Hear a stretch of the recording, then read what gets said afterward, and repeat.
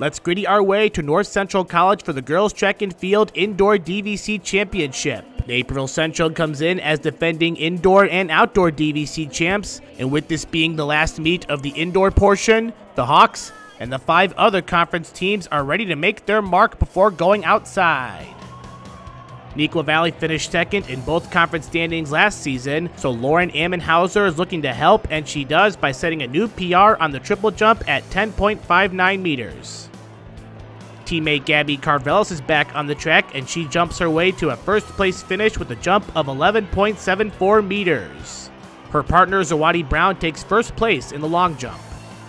Now the gun goes off, so let's go racing, girls, and we start with the 4x800 meter relay. Naperville North's group of Kayla Marks, Lexi Pera, Emma Barris, and Julie Pio outpaced the whole field by almost 20 seconds. That's one way to start the running events on a high note. Up next is Liv Phillips, who leads the way in the 3,200 meter run ahead of Shania Tandon. Metea Valley's Camilla Baker follows along with Ava Hendren, Rihanna Tandon, and Waubonsie's Catherine Heap. In the end, Phillips wins by 20 seconds ahead of Shania, while Hendren and Rihanna follow up.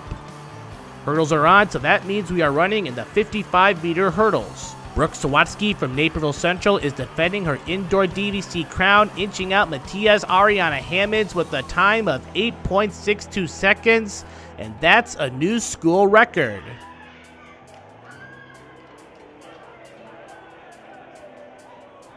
In the 4x2, Neuqua begins their push with Carvelis anchoring the pack of Ava Bell, Lauren Ammenhauser, and Tanvi Guruvagari. This win gives them a spark for the DVC. To the 400 meter race, and here is Zawadi Brown leaving all the opposing runners in the dust. Brown sets a new personal record at 58.03 seconds. Let's race a mile, and you cross country viewers better recognize this duo.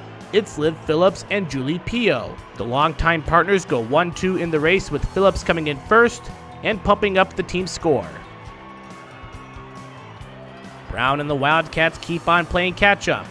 Brown's victory in the 200 meter dash is one of three individual races won by the senior. With that, the Wildcats trail the Redhawks by seven points heading into the final race. For the 4x4 purposes, Central needs to finish at least ahead of Neuqua.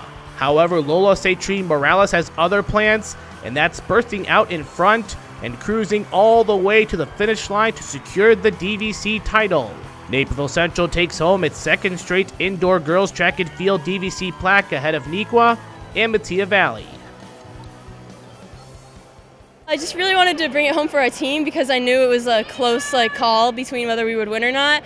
And I knew that second place would probably get us a lot of points, but I didn't want to leave anything up to chance. So I really thought I should just drive it home. Team culture this year has just been amazing. I think we've definitely all grown as individuals, and then that just, you know, went into the team aspect. And I think that we've all been working so hard during practice and we all just want to succeed and I think that showed tonight. Everyone ran awesome. It was so cool to see the whole team coming together. The 4x4 was amazing. You saw some really cool runners just stepping up there and it was it was really cool to watch. This is awesome. We're bringing in so much momentum. You know, we've had those past victories in conference, but it's really good to see that this new team is able to put the marks in that they need to and bring this momentum into the next season. Everyone did amazing. You know, we all did as best as we could with the with the stuff that we had to work with and I'm just proud of everyone that came out tonight and ran well. Some of the things we can learn from is just working together as a team first of all. Um, if someone's having a bad day or if someone's feeling sick, being okay and stepping up to that event that maybe you don't run as often.